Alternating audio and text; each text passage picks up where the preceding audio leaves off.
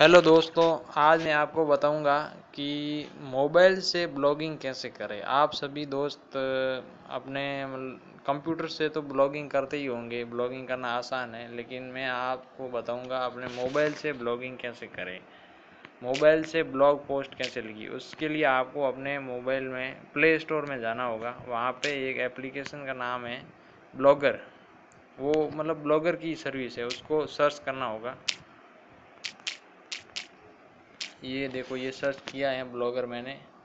तो ये यहाँ पे ये गूगल का एक एप्लीकेशन आ गया है ब्लॉगर तो ये एप्लीकेशन आ गया, देखिए। ये गूगल का ही है। ये पाँच मिलियन डाउनलोड हैं और ये आ गया है। इसको देखिए, इसको आपको इंस्टॉल करना होगा। मैंने तो इसको इंस्टॉल किया हुआ है पहले से ही। तो यहाँ मैं ओपन करता हूँ। ये देखिए मेरा ब्लॉगर ओपन हो रहा है, ये ओपन हो गया। अब यहाँ पे ये जो मैंने पोस्ट लिखी है ब्लॉग पे, वो सभी यहाँ पे शो हो रही हैं। अब नए पोस्ट लिखने के लिए ये ऊपर एक पेंसिल का आइकन है, उस पर क्लिक करना है।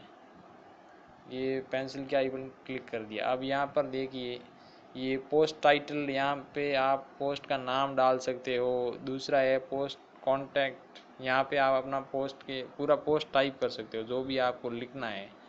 तो और भी ऑप्शन है, आप मतलब जो भी वर्ड होते हैं, उनको बोल्ड और इटैलिक में भी कर सकते हो। लिंक भी ऐड कर सकते हो, उनके भी आइकन है यहाँ पे।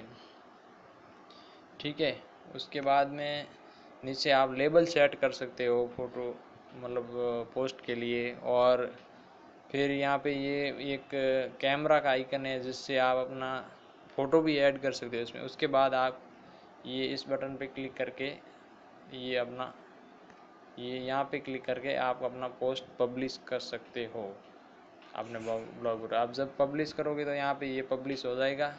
ऊपर दिखा रहा है नोटिस बार में, फिर आप अपना ब्लॉग सेक कर सकते हो।